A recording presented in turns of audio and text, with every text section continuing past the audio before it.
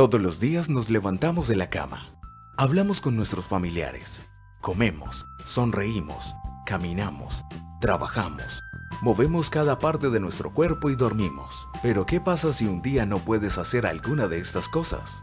Stroke es un infarto cerebral en español. En el año afecta a millones de personas y la única forma de tratar esta enfermedad es detectándola a tiempo. Podemos detectar el momento en el que comienza el infarto con solo ver físicamente a la persona. Face. Existen diversas formas de detectar el stroke. Una de ellas es observar si la persona se le paraliza alguna parte de su cara. Arms si al realizar cualquier actividad normal detecta que se pierde la fuerza o movilidad en alguno de sus brazos. Speech.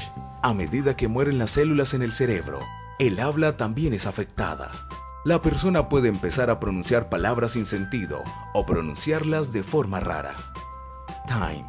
Cada minuto que pase desde que empieza el infarto implica la muerte de millones de células en el cerebro y el aumento en la posibilidad de que la persona quede discapacitada. Por eso debes acudir de forma inmediata al centro médico especializado. Debe ser dentro de las primeras tres horas desde que inicias con los síntomas o comunicarte con la red de urgencias de tu ciudad. Reconocer los síntomas y actuar rápidamente reduce la posibilidad de discapacidad en las personas afectadas.